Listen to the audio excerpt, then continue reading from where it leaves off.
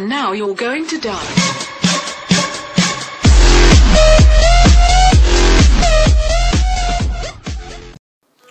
What is up YouTube? It's DC5 Rapey here and today I'm bringing you a Moab on the map Underground which, I don't know, I was just mucking around by myself playing some lonesome um, kill confirmed and yeah I ended up picking up a Moab so um, basically I don't want to talk too much about the gameplay today I'll talk a bit about it when um, I see something neat or whatever but um, yeah I pretty much just want to talk about what I have in mind for my channel right so one of my subscribers sent me a message saying hey why don't you like um, do something like put one of our gameplays up and tell us where we went wrong and stuff. So that is a very good idea, and I'm thinking about doing that. If you guys would like to see that, uh, leave a comment down below if you guys would like to see something like that because um you know I can pick up one of your gameplays where you don't do too well too well like I don't know it's a like a decent gameplay but you know you made some mistakes and um if you'd like me to try and uh, teach you guys how to get better that way like that's just a sort of good idea that I don't know that we can try and work through. I can help you guys, and you can have one of your gameplays up. Like it might not be your best gameplay, but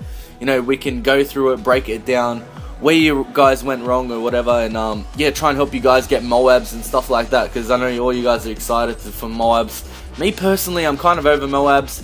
You know, I don't really go for them too much anymore. Sometimes I just whack on specialists because I don't know. Just if I'm in a shitty lobby where people are just really crap, I'll just whack it on, see if I can get one or whatever which is basically what you got to do if you in order for you to have fun with this game. So basically, when I have fun with this game, I like to just you know rack up all those kills just based on these bitches and I don't know, just outplay people. So yeah, about this gameplay anyway.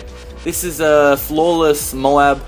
Uh, on underground, I'm using the PP90. Um, I've got to start switching up these guns, guys. I don't know. I'm, I'm just getting sick of them.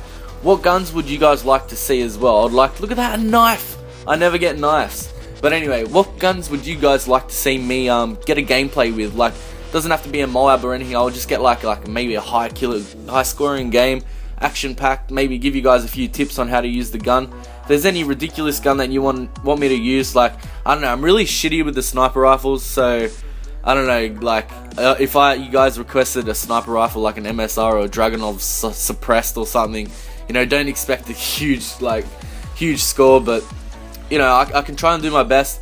Um, yeah, because I don't know. It's to be honest, when you're not using the PP90, um, the P90 or the MP7, and I don't know, just guns like that, the Scar or the ACR, it's just I don't know. Everyone else is using it, so you kind of feel like you're at a disadvantage because those guns are. I wouldn't say they're overpowered. I'd say that they are more predominant. Like a lot of people use them. Maybe they're easier to use weapons. Some have faster, faster uh, rate per fire, rate of fire. Um, maybe if they've got a larger mag or whatever. But yeah, they're probably the most predominant guns in the game. What, what, do you guys reckon are the most? What's the most overpowered gun in Call of Duty Modern Warfare 3? Now, excuse the FMG 9s because we all know they're like absolutely nuts. Excuse the FMG 9s and maybe the Striker. What is what is the best uh, Alright, let's leave it as submachine gun. What's the best submachine gun? The overpowered one. The one that anyone can just pick up and do well with. So, I want you guys to leave that in comment section down below as well.